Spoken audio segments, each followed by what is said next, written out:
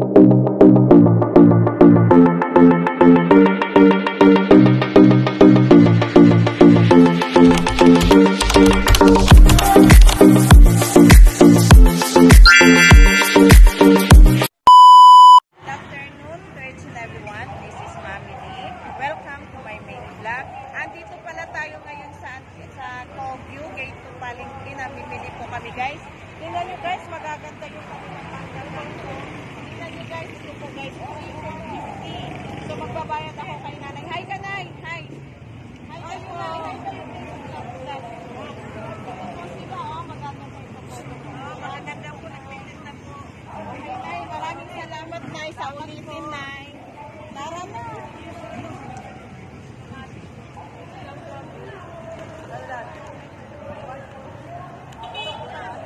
Kain po kami ng ano, guys.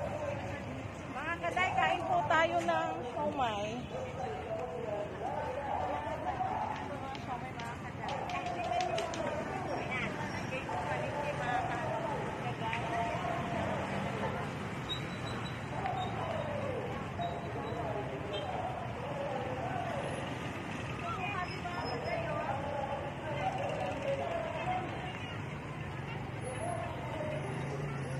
Mga kaday, kain po tayo ng ano, siomay. Ito po si ate. Hi, Kati, sa vlog, te. Hi. Ito, mga kaday. Masarap po siomay dito, mga kaday. Mga guys, kain po muna tayo. Dito ako ngayon, guys, sa loob ng Kogyo Palengke. Ito, guys, namimili kami ng alamang. For order ito, guys, lulutuin ko pa ito pagdating ng bahay. So, abangan nyo na lang, guys, pagdating ng bahay, lulutuin ko muna siya. Tapos, pagtapos, guys, for packaging mamaya, guys. After 2 hours, guys, uuwi muna kami ng bahay, guys, bago ko siya lulutuin, guys. At ito, guys, magbabayad na tayo, guys. So, 50 daw to guys per kilo. So, apat bali dala, ilang kilo to? Apat na kilo to, no? Ito po, oh. Apat na kilo to na bali. Hi ka nga, kuya. So, guys, oh. Thank you, kuya, ha. Okay, that's it, guys. Maraming salamat, guys.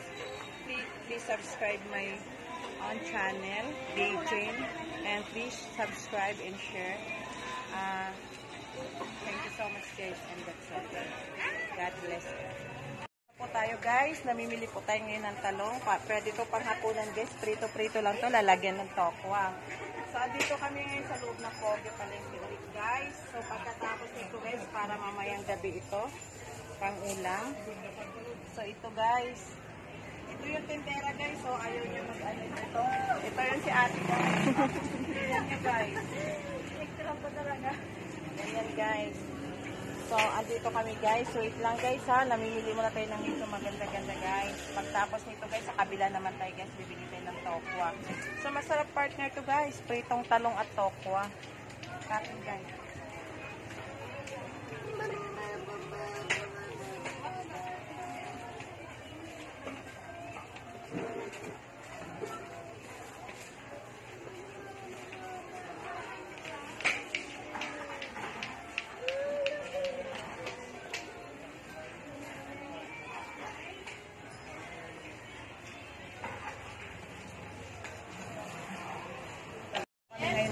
Guys, para sa hapunan.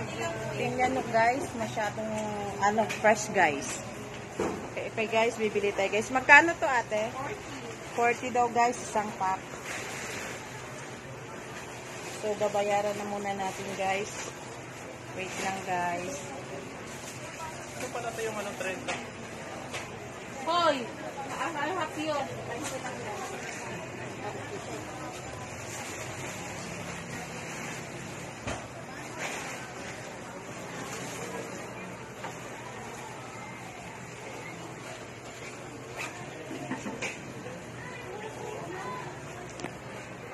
Okay guys, dito nagtatapos ang ating video.